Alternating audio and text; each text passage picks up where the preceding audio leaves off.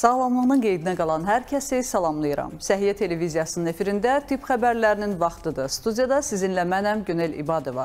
Baxaq görək dünyada və ölkəmizdə səhiyyə sahəsində hansı yeniliklər baş verib. Evdə tibb bacısının xidmətinə ehtiyacınız varsa, bu xəbər sizin üçündür. Baku City Hospitaldan maraqlı və bütün xəstəxanalarda olmayan bir yenilik haqqında xəbərimiz var. Birlikdə izləyək. Bakıda evinizdə 24 saat xidmət edən peşəkar tibb bacısı xidmətindən yararlana bilərsiniz. Bu xidməti paytaxtda fəaliyyət göstərən Baku City Hospital təqdim edir. Müəssisənin rəhbəri bu barədə Səhiyyə kanalında yayımlanan sizin doktor verilişində danışıb. Evdə kəskin hal yaranırsa, yəni ki, bunlara müəyyən bir antibiotiklər köçülməlidir, müəyyən bir dərmanlar köçülməlidir. Yəni tibb bacısı ayrılır, evdə 2 saat, 3 saat və ya gün ərzində o xidmətlər göstərilir. Nəinki o xidmətlər, həm də evdə yaşlı insanlara müəyyən tövsiyələr məqsədi ilə baxıcı, baxıcı kimi də veririk ki, kömək eləyən baxa salsın. Çünki ə, ə, bunlar hamısı dediyim kimi özəl xəstəxanadır və müəyyən bir ə, xidmətin qiymətləri var. Amma biz ə, ümumi hər gün bu bu xidmətləri evdə vermək ailə üçün bəzən çətin olur, amma biz öyrədirik və evdə ə, xəstənin yaxınları və ya özü müəyyən dərəcədə bu ə, belə deyək də prosedurlara adət eləyir. Evdə xəstənizə baxan tibb bacılarının qulluq növünə görə xidmət haqqı dəyişir. Ətraflı məlumat üçün 012 980 və ya 050 520 0303 nömrələrinə zəng edə bilərsiniz.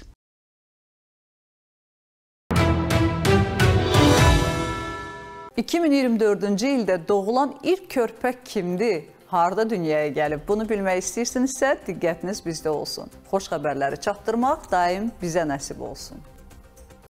Azərbaycanda 2024-cü ilin ilk körpəsi təbibin tabeliyində fəaliyyət göstərən yeni klinikada dünyaya gəlib. Təbibdən verilən məlumata görə körpə yanvarın 1-i 0001-də dünyaya gəlib. Körpənin cinsi qız, boyu 48 sm, çəkisi 2 kiloqram 580 qram olub. 24 yaşlı Göyçay sakini Günel Rəsulzadə uşaqlığında çapıq diaqnozu ilə təcili olaraq qeysəriyyə əməliyyatına qəbul edilib. Əməliyyat uğurla icra olunub. Hazırda ananın və yeni doğulmuşun vəziyyəti stabildir.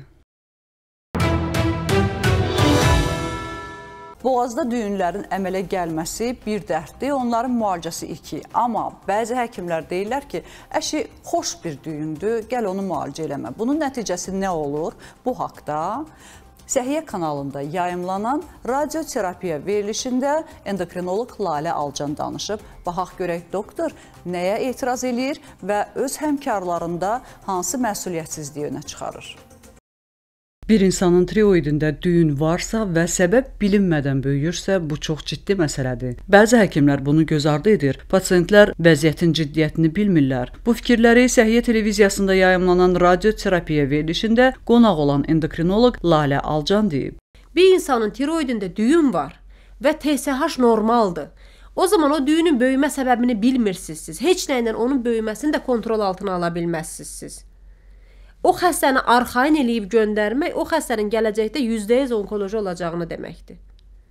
Kiminsə tiroid vəzində düyün varsa və onun TSH-ı normaldırsa, tam tərsi onlar daha çox endokrinoloji nəzarətdə olmalıdırlar. Çünki o düyün böyüyəcək də, o düyün malignitə edib başqa onkoloji xəstəliyə çevrilə də bilər. Təbii ki, çevrilməyə də bilər, amma çevrilə də bilər. Ona görə onlar daha diqqətli müayinə olunmalıdır. Çünki böyümənin qarşısını ala, qarşısını ala biləcək əllərində bir faktor yoxdur. Məsələn, mən endokrinoloq olaraq endokrinologiyanı yaxşı bildiyimi düşündüyüm halda belə mən o xəstələrin tiroidindəki düyünün böyüməsinin qarşısını ala bilmərəm. Dünyada kimsə də bunu edə bilməz. Lalə Alcan həmçinin boğazda aşkar olunan düyünlərin müalicəsinə daha diqqətli olmağa səsləyib. Dəfələrlə yolun əks istiqamətinə piyada keçidindən keçməyən sərnişinlərin başına gələn hadisələrdən sizə bəhs eləmişik. Bu dəfə də yenə Bakı sakini piyada yolundan keçməyib, nəticədə hər iki ayağından olub. Detalları izləyək. Bakının Nərimanov rayonunda piyadanı avtomobil vurub. Yol nəqliyyat hadisəsi Heydər Əliyev prospektində qeydə alınıb. 1991-ci il təvəllüdlü Xəyyam Elbəyoğlu Məmmədov prospektdə piyada üçün müəyyən edilməyən hissədən yolun əks tərəfinə keçmək istəyib. Bu zaman onu Toyota Prius markalı avtomobil vuraraq eyni istiqamətdə olan eyni markalı maşına sıxışdırıb. Piyadanın hər iki ayağı sınıb. O klinik tibbi mərkəzə çatdırılıb. Həkimlərin verdiyi məlumata görə Məmmədovun hər iki ayağı amputasiya olunub. Faktla bağlı Nərimanov rayon polis idarəsinin əməkdaşları tərəfindən araşdırma aparılır. Çalışın piyada yolundan istifadə edin ki, 32 yaşlı ayaqsız qalan vətəndaşımız kimi siz də əlil olmayın.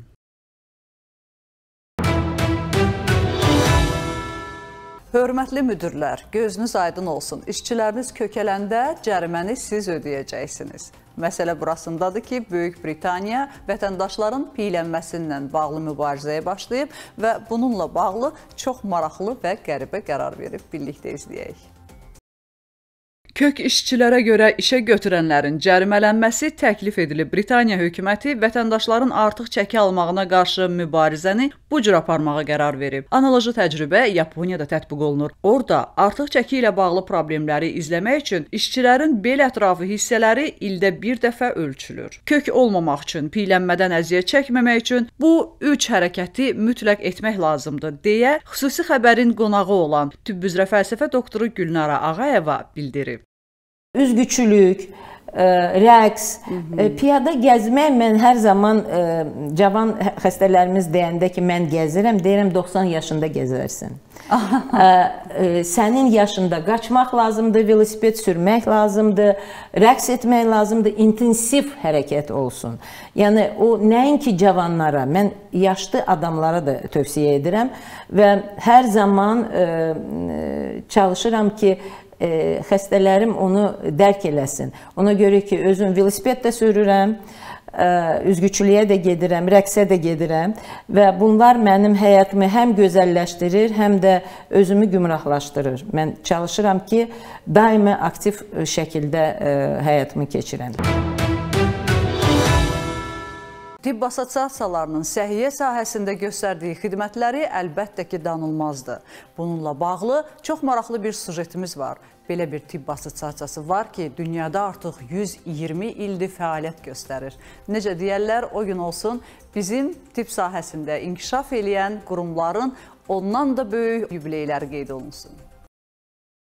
2024-cü ildə Amerika Ağciyər Assosiasiyasının ilk könüllü sağlamlıq agentliyi olan vərəmin öyrənilməsi və qarşısının alınması üzrə Milli Assosiasiyanın yaradılmasından düz 120 il keçir. Ən uzun müddətli fəaliyyəti ilə seçilən qurumun rəsmiləri saytlarında şərəfli yolun tarixindən bəhs ediblər. 120 ildə əldə etdiyimiz uğurlar ilə fəxr edirik. Fəaliyyət tariximiz əhəmiyyətli ictimai səhiyyə nailiyyətləri, əsaslı tədqiqatlar və ağciyər xəstəliyindən əziyyət çəkənlər üçün dəstək olmağımız ilə zəngindir. Bu gün biz həm həmişəkindən daha çox diqqətimizi 4 strateji məqsədə yönəltmişik. Ağciyər xərçənginə qalib gəlmək, tütündən azad gələcək yaratmaq, hamı üçün təmiz hava uğrunda mübarizə aparmaq və ağciyər xəstəliyi ilə yaşayanların həyat keyfiyyətini yaxşılaşdırmaq. Səhiyyə TV olaraq qurumu təbrik edir və ana yurdumuzun səhiyyə fədailərinin yaratdığı tibb assosiasiyalarının da uzun müddətli və beynəlxalq miqyaslı işlər görməyi arzu edirik.